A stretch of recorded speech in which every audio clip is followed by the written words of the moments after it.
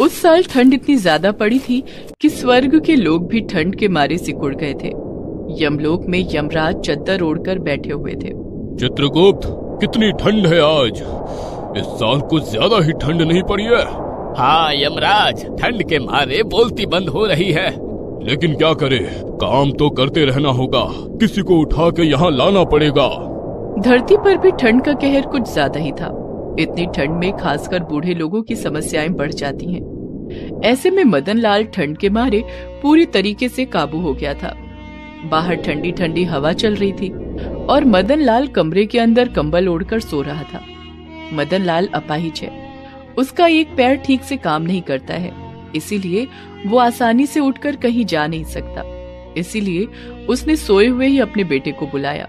बेटा बेटा एक बार इधर आना। उस वक्त उसका बेटा रमेश आया। क्या हुआ पिताजी? आप ठीक तो हैं? रमेश ने मदन लाल के शरीर पर हाथ रखकर चेक किया तो देखा मदन लाल को बुखार है। ये क्या? आपको तो तेज बुखार है। रुकिए मैं अभी दवाई लाता हूँ।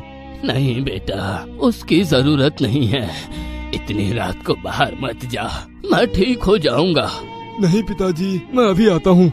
रमेश की एक पाँच साल की बेटी है। उसका नाम गुड्डी है। उसकी माँ उसे जन्म देते वक्त ही मर गई थी। गुड्डी अपने दादाजी से बहुत प्यार करती है।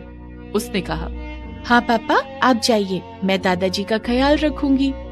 रमेश दवाई खरीदने चला गया और गुड्डी अपने दादाजी का सर दबाने लगी। लेकिन बाहर रमेश के साथ एक हादसा हो गया। रमेश दवाई की दुकान में जाने के लिए रास्ता पार कर रहा था। चारों तरफ़ कोहरा ही कोहरा था और उसमें कुछ दिखाई नहीं दे रहा था और इसीलिए रमेश को कुछ नहीं दिखा और एक गाड़ी ले आकर उसे धक्का मार दिया। रमेश का देहांत हो गया। ये बात जब मदन लाल और गुड्डी को पता चली तब वो दोनों बहुत रोए। पापा ये आपको क्या हो गया पापा? बेटा मैंने कहा था कि मत जा लेकिन तूने मेरी बात नहीं सुनी। वापस आ जा बेटा वापस आ जा। रमेश का अंतिम संस्कार किया गया। गुड्डी अनाथ हो गई। मदन लाल ने उसे गोद में बिठाकर कहा तो चिंता मत कर बेटी मैं हूँ तेरे साथ। मैं तुझे छोड़कर कहीं नहीं जाऊँगा। गुड्डी अपने दादाजी के गले लग गई। मैं आपका हाथ कभी नहीं छोड़ूँगी कभी नहीं चाहे कुछ भी हो जाए।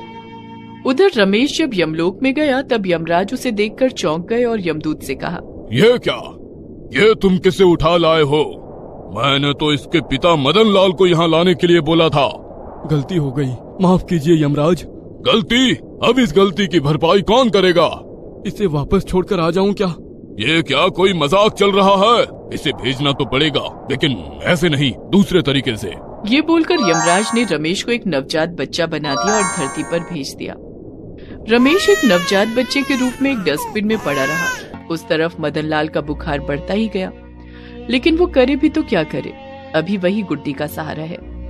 उसके बाद वाले दिन गुड्डी जब कहीं जा रही थी तब उसे एक नवजात बच्चे के रोने की आवाज़ सुनाई दी और उसने देखा कि डस्टबिन में एक बच्चा पड़ा हुआ है। गुड्डी को दया आई और वो उसे उठाकर घर ले गई। उसे पता भी नहीं चला कि उसके पापा बच्चे के रूप में धरती पर आए हैं। दादाजी देखिए मैं इसे ले आई हूँ। बेचारे को कोई डस्टबिन में फेंक कर आया था। अच्छा किया बेटा बहुत अच्छा किया।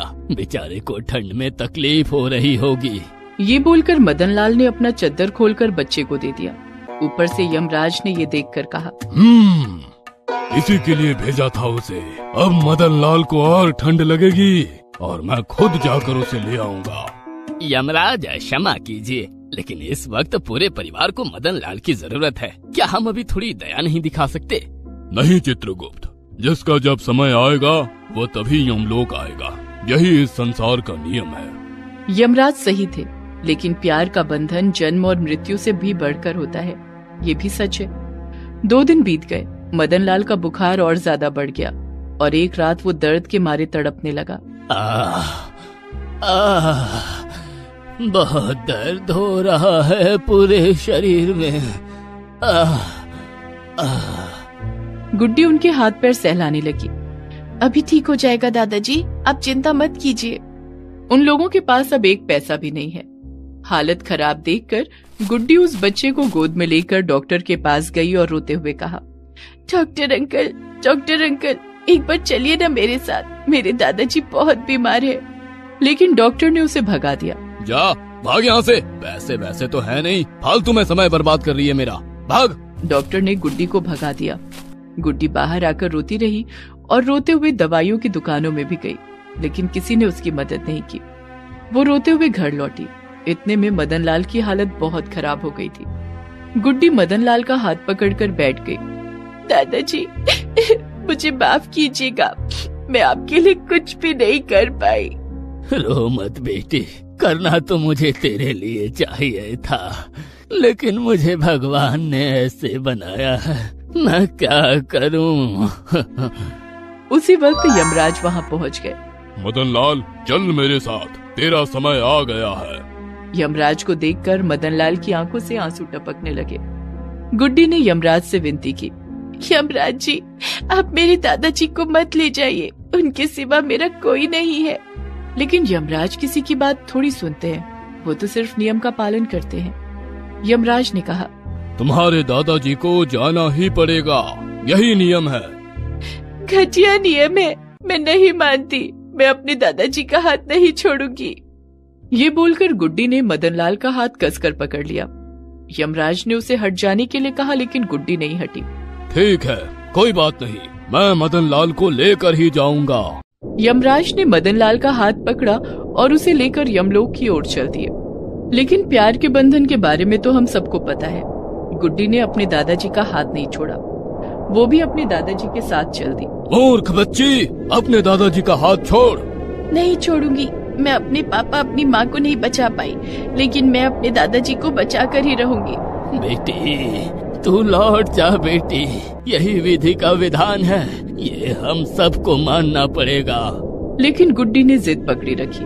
उसे यकीन था कि उसकी जिद और प्यार के सामने विधि का विधान भी झुक जाएगा। उस तरफ़ वो बच्चा घर पर ही सोया रहा और ये दोनों यमलोक में पहुँच गए। ये क्या प्रभु? ये छोटी सी बच्ची क्यों आई है यहाँ? उसका तो अभी तक समय ही नहीं आया। ये लड़की बड़ी जिद्दी है। ये खुद यहाँ आई है। मैं यहाँ अपने दादाजी को वापस लेने के लिए आई हूँ। लेकिन जो एक बार यमलोक आ जाते हैं वो और कभी नहीं लौटते। तो फिर मुझे भी यहाँ अपने दादाजी के पास रख लीजिए। नहीं ये नहीं हो सकता। तुम्हें अभी ज़िंदा रहना होगा। तुम्हारा समय अभी तक नहीं आया है। तुम्हें लौटना होगा। गुड्डी ने यमराज के पैर पकड़ लिए। यमराज अब तो बहुत शक्तिशाली हो। क्या आप मेरे दादाजी को लौटा नहीं सकते? आप चाहे तो ये कर सकते हैं यमराज। लेकिन मैं करूँगा क्यों? यही तो नियम है। क्या प्यार के लिए नियम नहीं बदला जा सकता? नहीं। तभी चित्रगुप्त ने कहा। जा सकता है प्रभु। अगर किसी ने मदन लाल के लिए अपनी जान कुर्बान की तो ये संभव है। हाँ मैं दूँगी जान। मेरे दादाजी को बस ज़िंदा रखना। ये सुनकर मदन लाल भावुक हो गया और बोला नहीं बेटी तू अभी छोटी है। तेरे सामने बहुत बड़ी ज़िंदगी पड़ी है। तू जा वापस जा। नहीं दादाजी मैं कहीं नहीं जाऊँगी। कुछ देर इसी तरह बीत गई। यमराज को कुछ भी समझ नहीं आ रहा था। इस पाँच साल की बच्ची को देखकर उनके मन में तो दया आ रही थी लेकिन वो भी नियम की रस्सी से बंधे हुए थे। लेकिन तभी एक चमत्कार हो गया। वो छोटा सा बच्चा जो असल में रमेश का पुनर्जन्म है। वो मदन लाल के कमरे में खेल रहा था और तभी अचानक वो खुद बिस्तर के किनारे पर आया और वहाँ से गिर गया। उसके सिर में चोट लग गई और वो भगवान को प्यारा हो गया। वो यमलोक में पहुँच गया और फिर से रमेश बन गया। ये क्या? मैंने तो तुम्हें अभी भेजा था धरती पर फिर वापस क्यों आ गए? मुझे नहीं जीना ऐसे। अपने पिताजी अपनी बेटी के बिना मैं जी के क्या करूँगा? आप मेरी उम्र मेरे पिताजी को दे दीजिए। गुड्डी को समझ में आ गया कि वो जिसे बच्चा समझकर लाई थी, वो असल में उसके पिता थे। रमेश ने उसकी उम्र मदन लाल को दे दी और मदन लाल फिर से ज़िंदा हो गया। मदन लाल अपनी पोती के साथ घर पहुँच गया और रमेश की उम्र मिलने के कारण मदन लाल का पैर भी ठीक हो गया और इसी तरह अंत में प्यार की जीत हुई। एक पोती का प्यार, एक बेटे का प्यार नियम से आगे निकल गया। सब कुछ मिल गया और सभी खुशी खुशी ज़िंदगी बिताने लगे।